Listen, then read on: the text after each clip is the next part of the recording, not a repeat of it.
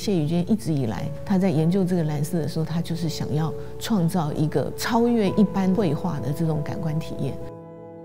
这种感官体验，它不是指向一个现实的世界，它指向的是一种非常内在的、非常自我的，需要高度的敏感、高度的接受力来回应，然后来认识的。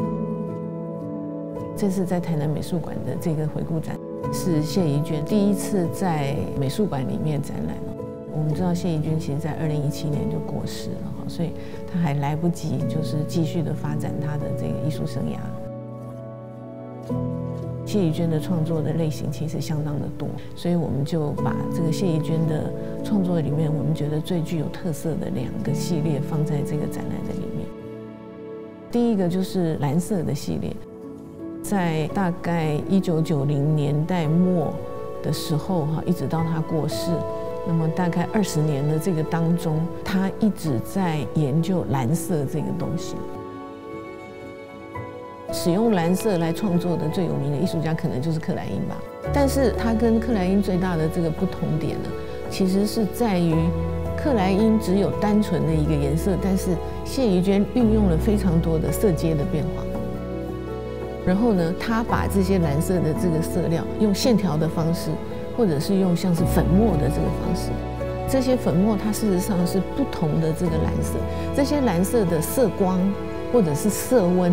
其实都不太一样。那么，它利用不同的色光跟不同的色温的这个蓝色，把它组合在一起，它就会造成一些错视。这些错视会有一些层次感，或者是一些深度感。那么，这种非常复杂跟丰富的这个层次，对观众来讲是非常富予吸引力的，因为它是不断的在刺激这个观众的感官，跟甚至就观众的意识。他跟克莱因有一个非常有趣的相同之处，就是都是用色粉创作。用色粉创作跟我们把色粉调成颜料之后来创作，它其实是一个完全不一样的意义。从这个物质材料的这个特性来谈的话，克莱因他寻求的是解放绘画，所以他一个一个的把这个绘画的这种框架给解除了之后，最后回归到绘画的最原始跟最自然的那个状态，就是色粉。那他说这个叫做最高度的非物质的物质性。那么克莱因提到蓝色的时候，他就说蓝色是这个没有向度的 （no dimension）。蓝色基本上它超越了向度，超越向度的意思其实是非物质性。很有趣的，就是说，事实上我们会觉得他跟克莱因的这个创作之间是有对话的，所以他有一种对话关系。因为谢怡娟她从在英国读书的时候，她跟她的指导教授提出一个叫非空间的这个东西。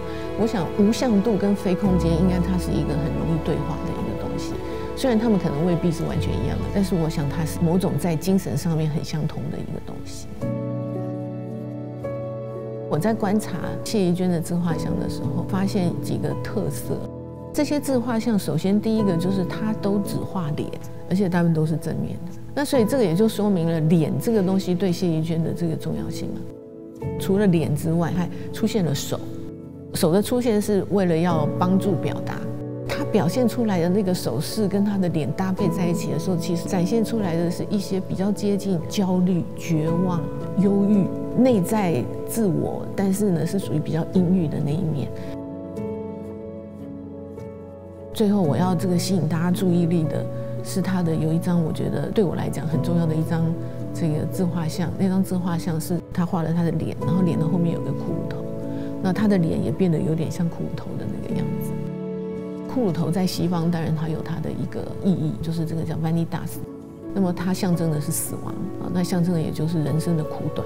所以人生的意义到底是什么？那么死亡给我们带来的压力是什么？就好像高更的那张很著名的作品《我们从哪里来？我们是谁？我们往哪里去？》这个是一个永恒的质问。那么这个永恒的质问，事实上在谢怡娟的自画像的里面，我觉得是啊。非常充分的被表谢怡娟从在英国开始确定她未来创作的所有的这个方向都是叫做所谓的非空间的时候，其实她只是模模糊糊、隐隐约约，呃，感受到一个她想要追求的一个境界吧。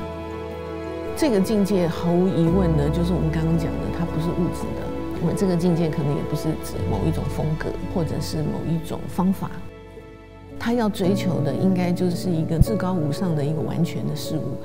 而那个完全的事物，就是我们穷所有的材料，我们穷所有的媒介，穷所有的这个学门，大家一起要追求的那个东西。那那个至高无上的崇高的这个东西，到底是什么呢？可能他根本就连名字都没有。